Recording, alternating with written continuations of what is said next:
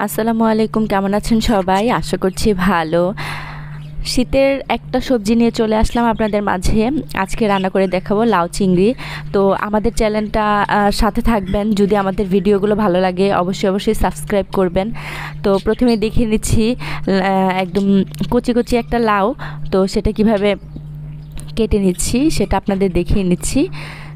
তো আমাদের লাউ কাটা শেষ হয়ে গেছে। একটা পেনে আমরা তেল দিয়ে দিয়েছি। তেলটা গরম হলে পেঁয়াজ কুচি দিয়ে দিচ্ছি। তার সাথে দিয়ে দিচ্ছি মরিচ মরিচ কুচি। তো এটা একটু ভালোভাবে নেড়ে চেড়ে আমরা পরিমাণ মতো লবণ অ্যাড করে নিলাম। দিয়ে দিচ্ছি হলুদ গুঁড়ো।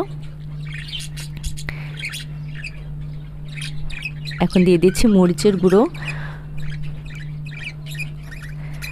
তো আপনাদের ভালো লাগলে আমাদের সাথে অবশ্যই থাকবেন। আর আপনাদের, আপনারা যদি আমাদের পাশে থাকেন, তাহলে সেটাই হবে আমাদের জন্য অনুপ্রেরণা। তো এখন চিংড়িটা আমরা দিয়ে দিলাম। চিংড়িটা ভালো করে নেড়ে চেড়ে একটু পানি দিয়ে দিচ্ছি, যাতে ভালোভাবে মশলাটা কষানো হয়ে যায়। মশলাটা কষিয়ে নিয়েছি। তো এখন আমরা এটার সাথে লাউ অ্যাড করে নিব। আমরা অল্প অল্প করে লাউ দিয়ে দিচ্ছি। লাউ, চিংড়ি হয়তো আমরা, আপনারা সবাই কম বেশি রান্না করে খান।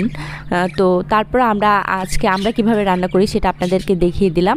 তো দেখতে পাচ্ছেন লাউ থেকে যে পানিটা উঠেছে সেই, সেটা দিয়ে রান্না মোটামুটি কমপ্লিট হয়ে গেছে। এখানে আমরা কোনো এক্সট্রা পানি ইউজ করি নাই।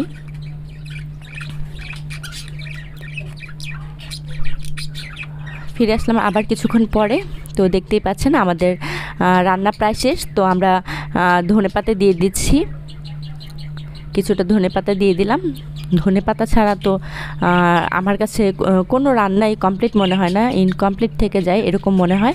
তো যাই হোক, এই যে আমাদের রান্না শেষ, আমরা এটা একটা বাটিতে বেড়ে নিয়েছি। তো পরিবেশনের জন্য এটা একদম তৈরি। তো প্লিজ প্লিজ প্লিজ আপনারা আমাদের সাথে থাকবেন, আমাদের ভিডিওগুলো ফলো করবেন, দেখবেন। ভালো লাগলে অবশ্যই লাইক কমেন্ট করবেন সাবস্ক্রাইব করবেন, আমাদের সাথে থাকবেন।